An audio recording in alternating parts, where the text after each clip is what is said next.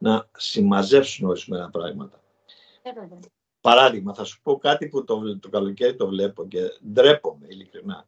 Αν πας εκεί στον Αγιαντώνη, ένας καταστηματάρχη βγάζει τα τραπεζοκαθίσματα μέχρι, τη- μέχρι τη στροφή. Δηλαδή αφήνει κάνα ένα μισή μέτρο να, να περάσεις.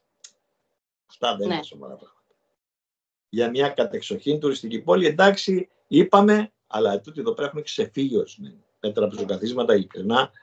Ε, ντρέπομαι, ειλικρινά ντρέπομαι.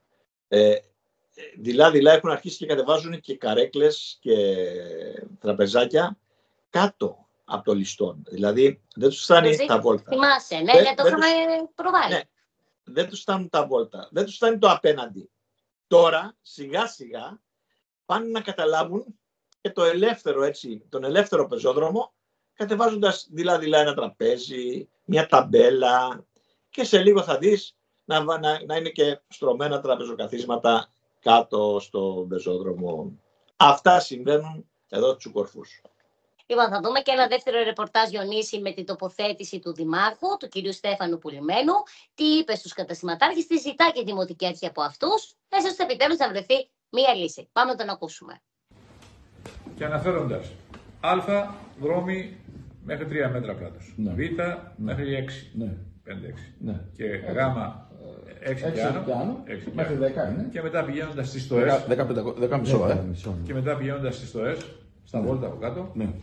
που θα, γίνεται, μια- θα προβλέπεται και μια ρύθμιση εκεί, Ναι. μπορούμε να έχουμε μια συνολική διευθέτηση Ναι.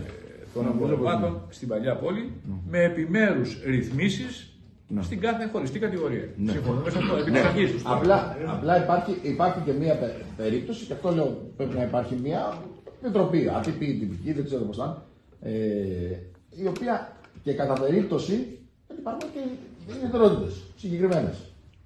Ε, να αντιμετωπίζει το, το θέμα. Αλλά να βάλουμε και μια επιπλέον κατηγορία λοιπές ειδικές περιπτώσεις.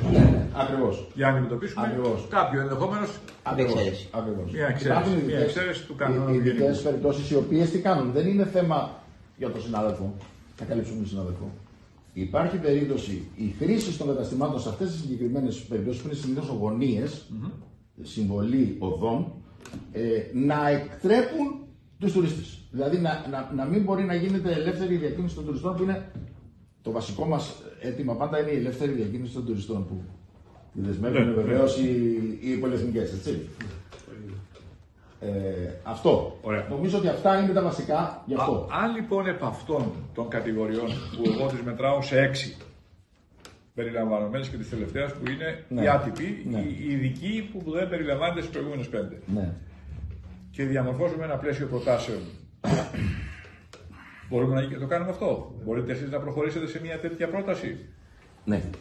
και να, και να το δούμε κι εμείς από την πλευρά τη δική μας του Δήμου. Βεβαίως. Ναι. Έτσι. Για να δούμε πού μπορούμε να συγκλίνουμε. Θα ήταν ευχή έργο να, να έχουμε ένα, μια κοινή αντίληψη της φύσης του προβλήματος και του τρόπου διευθέτησής του. Ζούμε σε αυτόν τον τόπο. Εξαρτάται η ζωή όλων μας και η οικονομική κατάσταση του καθενός σε μεγάλο βαθμό από το τι συμβαίνει και πώς ρυθμίζουμε τα του οίκου μας μέσα στην πόλη. Είδαμε λοιπόν και τον ε, Δήμαρχο και εκείνος από την πλευρά του, άκουσε σε Διονύση, δεν είναι λιπροκατελημένος, ούτε θέλει να κλείσει τα μαγαζιά των ανθρώπων, αλλά να μην υπάρχει και αυτή η εικόνα. Αυτή η εικόνα βεβαίως.